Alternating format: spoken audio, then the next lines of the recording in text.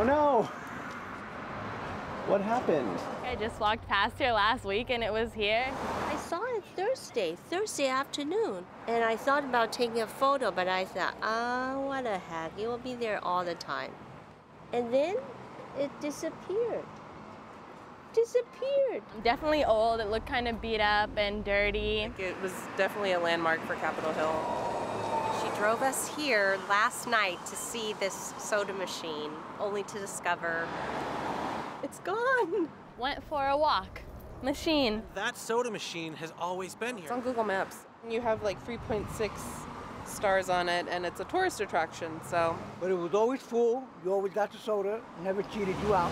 It was here for 27 years, and when I first saw it, and for many years uh, that ensued, it had the, the brand names of the particular brands of soda on it. And at some point, it, uh, it changed to just mystery soda on each selection. And I think that made it fun because you never knew what you were getting. Coke and A diet soda Mostly cream sodas I've gotten. or some store brand Bobo. You never knew what you was gonna get out of it. One time I got a sparkling water.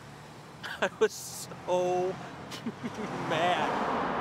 It's a mystery machine run by a mystery person.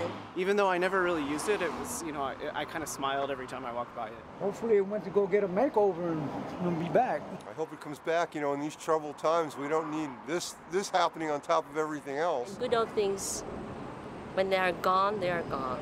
So it's in our memory. I hope it comes back. It's, it's been a day and I miss it already.